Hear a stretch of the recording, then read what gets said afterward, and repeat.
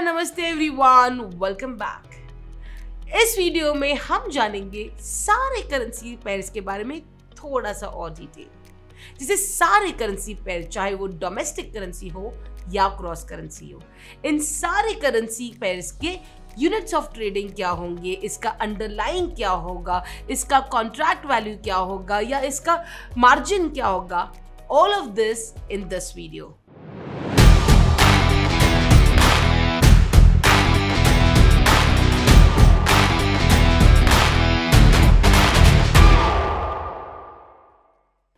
जब हम NSC currency markets की बात करते हैं हाँ जैसे कि हम जानते हैं कि वहाँ पे हमें domestic currency and cross currency दोनों ही ट्रेड करना अलाउड है तो जब हम डोमेस्टिक करेंसी की बात करते हैं we have four currencies which are available which is USD INR, Euro INR, GBP INR, and JPY INR.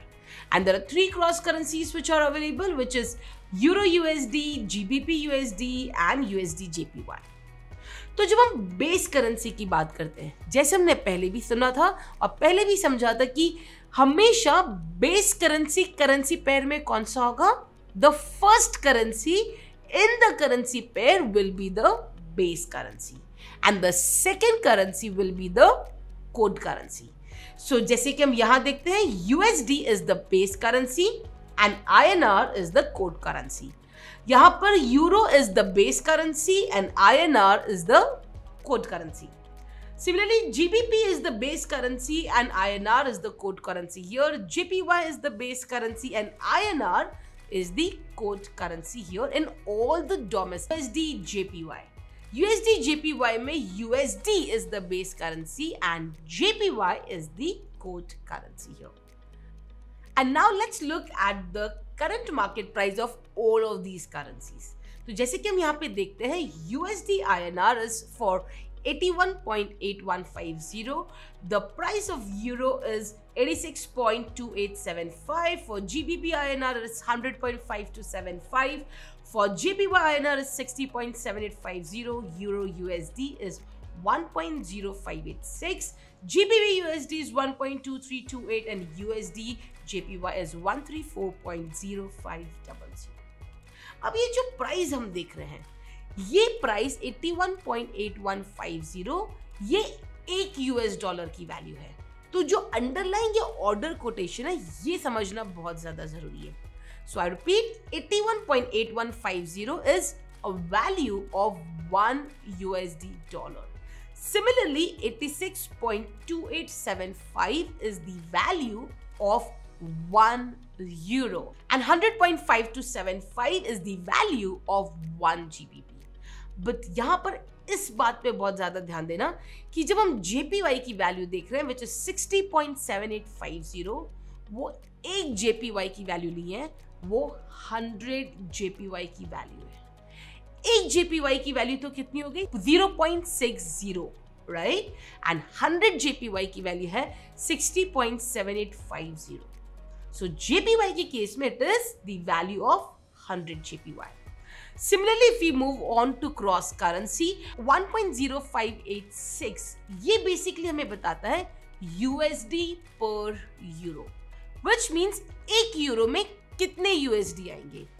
Similarly, if we move on to G GBP USD, it is USD per GBP, which means एक GBP में कितने USD आएँगे and the third one which is USD JPY जहाँ पर हमें ये पता चल रहा है कि एक यूएसडी में कितने जेपीवाई आएँगे so this is how the you know value is being defined now when you talk about units of trading जैसे हम कहते हैं ना कि हमारे फ्यूचर्स में हम लॉट साइज़ कहते हैं, वैसे ही हम यहाँ पर यूनिट्स ऑफ़ ट्रेडिंग कहेंगे।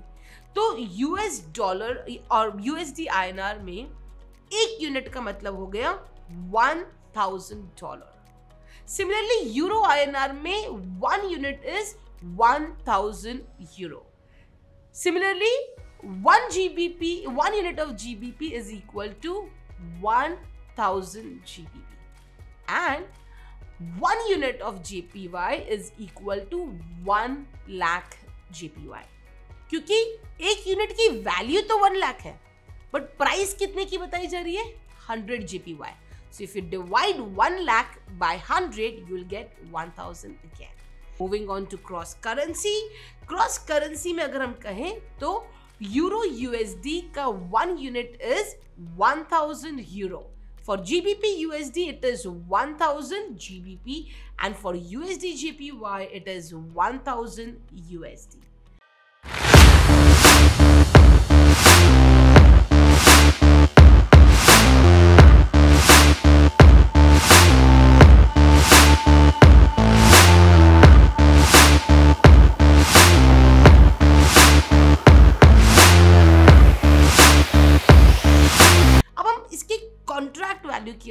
बात करें। ठीक है?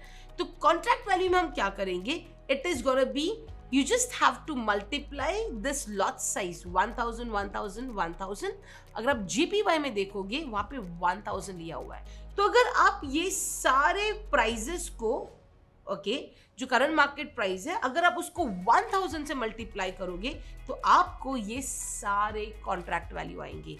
जो एक यूएसडी आईएनआर का कॉन्ट्रैक्ट वैल्यू इज़ 81,815 यूरो का contract value is around 86,000 GBP का contract value is around one lakh JPY का आईएनआर का contract value is 60,000 Euro USD का contract value is again same like 86,287 GBP is around one lakh and USD JPY is around 81,000 right so है ना बहुत ही ज़्यादा छोटे contract value ना इससे बेनिफिट ये हो जाता है कि हम बहुत सारे इंस्ट्रूमेंट और बहुत सारे स्ट्रैटेजी एक साथ ट्रेड कर सकते हैं with a limited capital and the another beauty of the currency market and one of the reason why love you know currency market is basically the margin the lowest margin of all the highest leverage of all तो जैसे कि हम यहाँ पर देख रहे हैं okay?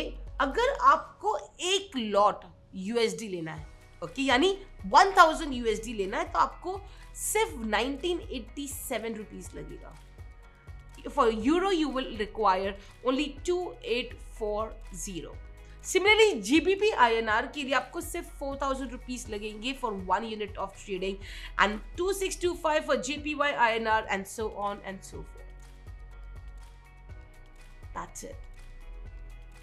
And if you calculate the margin percent, it's hardly 2.43% for USD INR. It's hardly 3.29% for Euro INR and 4% of for GBP INR and JPY INR for 4.32%. Moving on to cross currency, the margin required is 4.28% for Euro USD and for GBP USD it's 5.01% and for USD JPY it's just 4.84%. Isn't it amazing? Contract size be chota, contract value be chota, margin be come, and this is what makes it perfect financial instrument to trade markets. So perfect everyone. I hope you guys are now clear with the what would be the underlying for all the currency pairs, what will be the unit of trading, what will be the contract value and what will be the margin for all the currency pairs. So I hope you guys enjoyed this video and learned a lot of new stuff. And in the next video, we'll go a little more deeper into this subject. And thank you so much. Till then, take care, keep smiling, and I'll see you guys in the next video.